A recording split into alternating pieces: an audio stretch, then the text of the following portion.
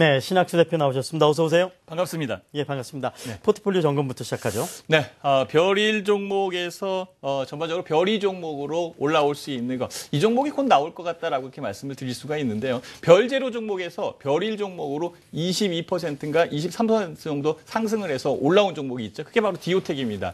아, 별이 별일에서 별이로 올라갈 수 있는 이 종목은 바로 미래나노텍이다 이렇게 말씀을 드릴 수가 있고요. BHE도 어, 지금 다 다시 음질 움직이기 시작을 했고요. 수익률이 좀 낮지만은 아, 최근의 움직임이 좋다라고 말씀을 드릴 수가 있고요. 좀 덜 움직이는 게 KT 뮤직입니다. 그 재무상으로 여러 가지 그 측면을 봤을 땐 크게 문제는 없다라고 보고 있는데요. 약간 좀그 절고 있어서 어, 종목 교체의 대상이 될까라고 이렇게 생각을 하고 있는데요. 어쨌든 미래 나노텍이 잘 움직이고 있어서 다행입니다. 미래 나노텍을 좀 더 집중적으로 좀 설명을 드릴게요. 미래 나노텍 같은 경우에는요. TV나 IT용 LCD 패널, 이 광학 필름 프리즘 시트를 만드는 그런 회사입니다. 아, 프리임 시트를 만드는데요. 최근에 이제 UHD TV, UHD TV 이렇게 얘기를 하지 않습니까? 이 고화질로 넘어가다 보니까요. 저부가 가치 제품에서 고제 고화질 제품으로 바뀌어가는 요 현상이 지금 일어나고 있습니다. 여기에 제품 믹스 효과, 즉 저품에 저가품에서 고가품으로 넘어가는 요 단계에 수익이 많이 난다라고 이렇게 말씀을 드릴 수가 있죠. 아, 그래서 어, 현재 위치에서는 잘 가고 있다라고 말씀을 드릴 수가 있는데요. 제가 갖고 있는 HTS 잠깐 보면은요. 지금 현재 오늘 요 가격까지 지금 올라와 있는 그런 상황이거든요. 좀 더 올라가면 충분하게 20% 정도의 수익률은 올라오지 않을까라고 이렇게 생각을 합니다. 그래서 별 1에서 별 2로 올릴 텐데 있는데요. 미래나노텍의 목표가가 6,800으로 책정이 돼 있었는데요. 요 가격이 오늘 고가에 와 있었기 때문에 6 8 0 0원로 도착했죠. 네, 그렇기 때문에 7,050원으로 상향하겠다라고 먼저 말씀을 드리면서 어, 별 아, 1에서 별 2종목으로 올라오는 요 단계에 있는 것을 볼 수 있지 않을까 이렇게 생각도 해봅니다. 좀 수익을 챙겨야 되는 거 아닙니까? 아, 그 수익을 챙길 수 있는 부분도 분명히 있는데요.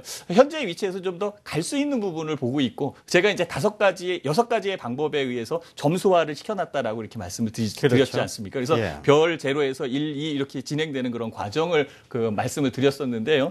아, 지금 그 어, 다섯 가지의 그 방법에서 점수를 20점씩 부여를 해서 예, 각 가격을 집계를 하다 보니까 가격이 상향됐다라고 이렇게 말씀을 드릴 수가 있는 거죠. 그래서 미래나노텍 같은 경우에는요, 좀더 보겠다라고 이렇게 말씀을 드리겠습니다. 예, 별 제로 종목들도 포트폴리오 점검 네. 부탁드리겠습니다. 아, 별 제로 종목에서 좀 특이하게 움직이는 것. 오늘 그 어, 대더 어, 어 MK 트렌드죠. MK 트렌드 같은 경우에는 가격이 좀 내려오는 것 같아요. 그래서 이 MK 트렌드를 좀 바꿔야 되겠다라는 그런 생각을 하고 있고요.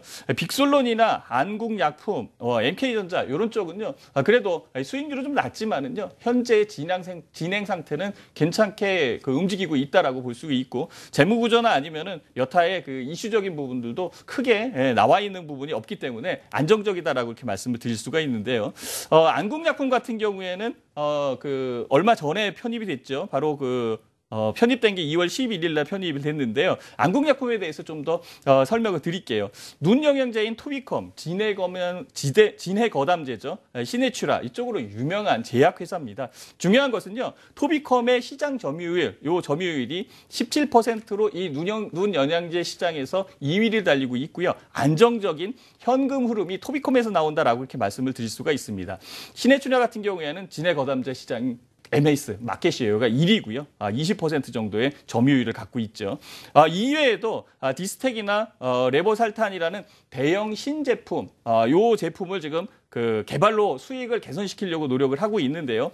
아, 디스텍 같은 경우 위계형제 치료, 위궤양 치료제고요. 레버살탄 같은 경우 고혈압, 고혈압 치료제입니다. 요 제품들은 요 제품들 같은 경우에는요. 그 원재료비하고 소요되는 비용이 적다. 왜 적은가라고 찾아보니까 개량 신약이기 때문에 그렇다라고 이렇게 그 조사에 의해서 나오더라고요. 일단은 고부가치 고부가치 상품으로 그 넘어가고 있는 그런 상황에 개량 신약 때문에 원재료 비용이 절감될 수 있는 이런 부분들을 봤을 때 어, 안국약품의 그 상승세 이런 것들은 좀 나오지 않을까라고 이렇게 생각이 들고요. 안국약품의 그 차트의 흐름 이 어, 부분은 아직은 바닥적인 부분에 있다라고 이렇게 볼 수가 있죠. 아, 물론 이제 오늘 약간 좀 밀리는 부분도 있지만은요. 14,500원이 넘어가면 이때의 매물벽은 돌파할 것이다라고 이렇게 볼 수가 있습니다. 예, 그 외에 별난 종목 후보군에 어떤 변화가 있습니까? 네, 별난 종목의 후보군에서는 좀 많이 바뀌죠. 일단 후보군이기 때문에 자꾸 이 교체를 하려고 하고 있고요. 어, 그런 부분들을 많이 보여드리려고 저도 노력을 하고 있습니다. 그래서 변두 종목의 후보금 중에서 어, 솔로에타나 이스페타시스 그다음에 내추럴 엔도텍 같은 경우에는 오늘 많이 올라오고 오더라고요.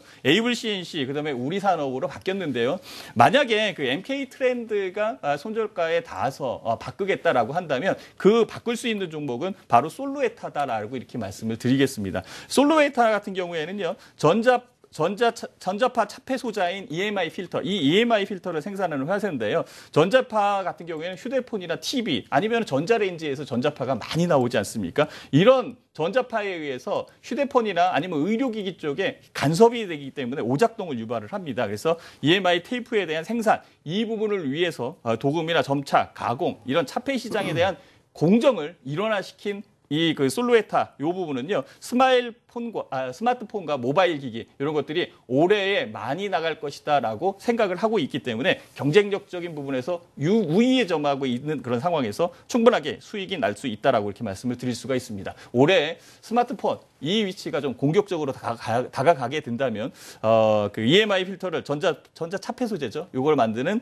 어, 솔로에타 같은 경우에는 지금 현재의 주가보다는 항상 올라오지 않을까라고 생각이 드는데요. 잠깐 차트 한번 볼까요? 예, 차트 보면은 어, 이 그 솔로에타 같은 경우에는 크게 많이 움직이지는 않았어요, 그렇죠? 예, 원형 바닥형을 그리고 있는 그런 상황에 장기선이 121선을 넘어 있는 그런 위치거든요. 오늘 약간 뭐 조정을 받고 있는 그런 상황이지만은요, 현재 위치에서는 뭐 못 살 것도 없다라고 이렇게 생각이 듭니다. 그래서 어, 만약에 그 종가의 어, 종목이 바뀐다라고 하면 종가에 편입되는 걸로 말씀을 드릴 거고요. 종가에 편입된 이후에 후에 예, 목표가 손절가 다시금 언급해 드리도록 약속드리겠습니다. 예, 예, 예 알겠습니다. MJ 스탁 신학수 대표와 함께했습니다. 고맙습니다.